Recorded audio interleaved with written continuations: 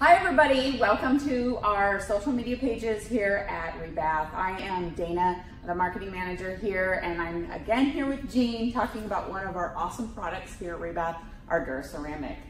So Gene, what's your favorite thing about our Duraceramic product? Well, one of the things I like, because we're CAP certified, being certified aging in place specialist, a lot of the products out there are not as good as far as the texture. If you can hear that on Oh, TV, yeah. it's a slip resistant floor when we lay it down. It's also warmer than tile, which is another reason why I like it. It's about 60% warmer.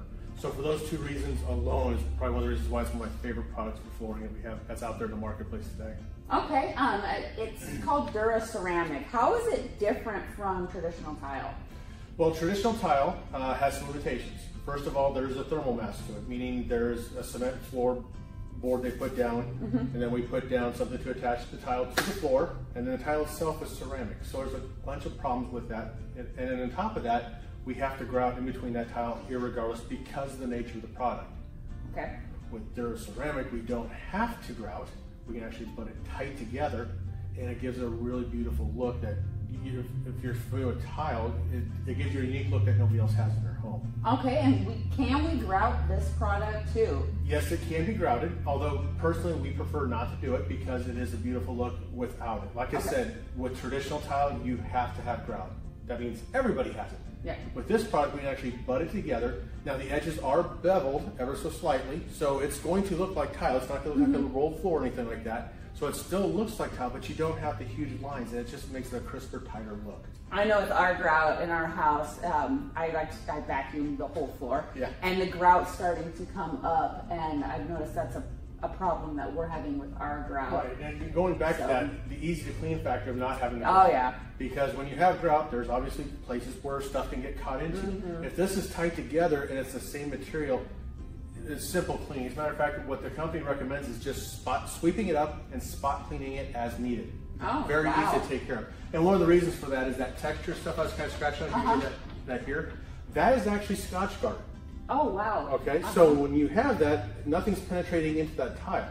Now, if we think about traditional tile, how they achieve that is they put a glazing on it. Mm-hmm.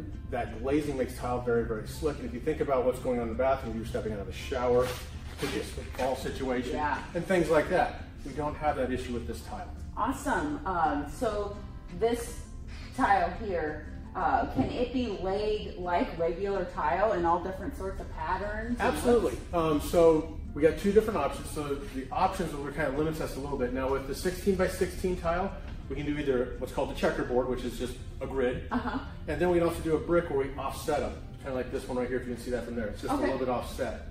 Now if it's 12 by 24, we can do the same things. And the other cool thing is we can go either lengthwise, so we make your bathroom appear longer, or we can put it the other direction to make it appear wider, depending on what your bathroom is shaped like. The other cool thing with this is this particular product we can actually lay in a herringbone if we wanted to. Um, You have to have a big bathroom for that. We'll really make it achievable. The only thing I advise people against doing that is it's been popular a few times throughout history as far as design goes, and it really dates a bathroom to when it was done last. So that'd be my only warning: is the herringbone is really going to date a bathroom. The checkerboard or the, the brick offset are timeless. They're, they've been doing it forever. Uh, yeah, and I've seen the ones where they like pinwheel it too. Yeah.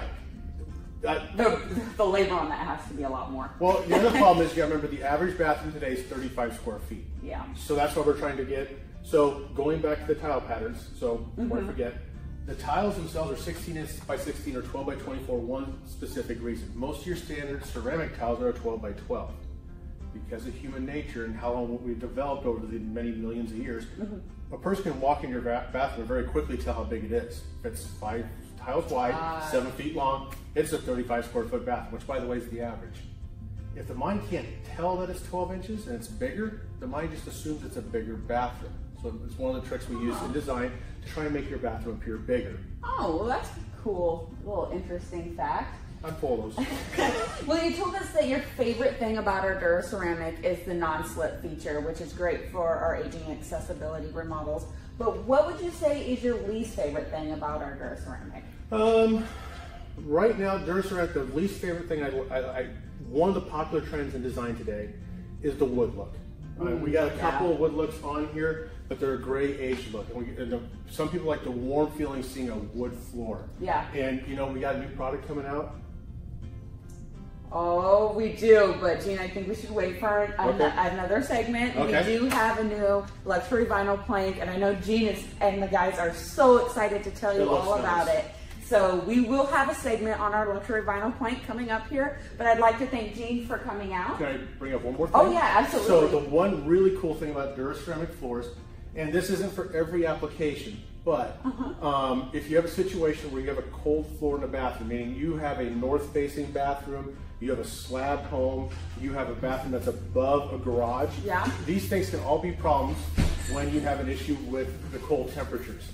So at this floor, we can actually heat this floor. Oh, that is awesome. So no, it gets even better. So with this, we got four different options you can do for for turning on the thermostat. Okay, you got the obviously knob, Uh-huh. but we got a touch screen. You can actually program it to come on at a certain time every morning. wow. So if you know every morning I'm going to get up at five, get ready to walk the dog, that'll be on, ready to go for you.